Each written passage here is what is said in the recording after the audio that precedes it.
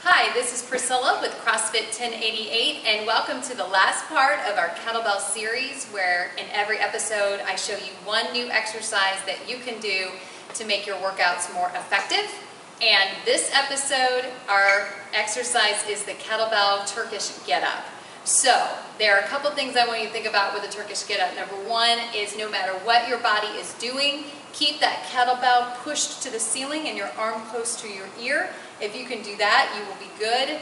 And then the second thing with the Turkish get up is just to simply be patient. It takes time to get up off the floor and to get back down on the floor. And so you're gonna wanna give yourself some time to do that. Don't rush it. Make sure you hit each of the five positions and you'll be just fine.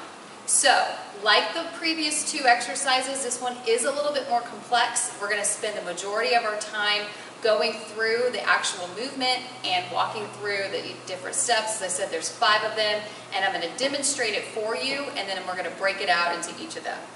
Here's the demo. Bent knee, straight arm, kettlebells in the arm. It's on the same side of the body.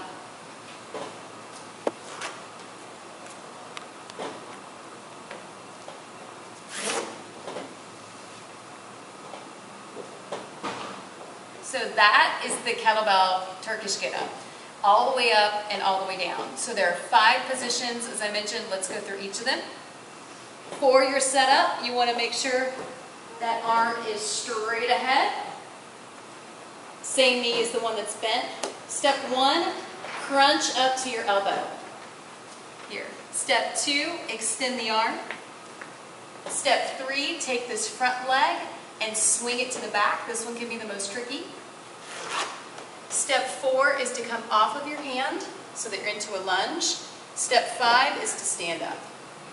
Then we just simply reverse the steps to get back down. So I'm stepping back into the lunge, bringing my hand to the floor, swinging the back leg to the front, bringing my elbow to the mat, and then come up, coming all the way down. From here, I'm going to switch, and just like the other two movements prior to this, it alternates and switches sides.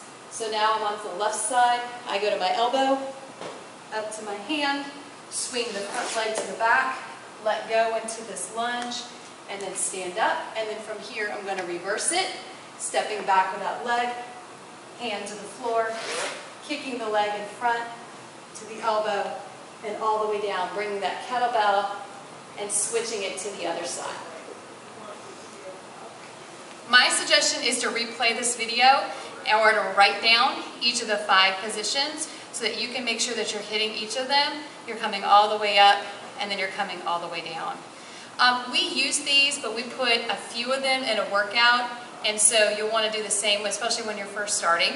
Start light with a kettlebell. Make sure that you can keep it near your ear and that you can stand up from that lunge so that you're nice and tall. In fact, I'll stand up now. You're nice and tall, legs straight, abs pulled in, arms straight, just like many of our other movements with a kettlebell. That's what we're looking for in a finished position. And then, very different from the others, you actually move your body to come all the way back down to the floor. That is the Turkish Get Up, and that wraps up our kettlebell series. I hope that you have enjoyed it and that you've learned maybe a few different movements that you can now incorporate into your exercises, into your workouts, and make them more effective. Please let us know if we missed one that you really love. I'd like to hear about it. Put it in the comments below. If you like this video and the series altogether, feel free to subscribe to our channel and you will be getting more of this in the future, just ways that we're trying to help you stay fit and to have some fun with it. So thanks for joining me and we'll catch you next time.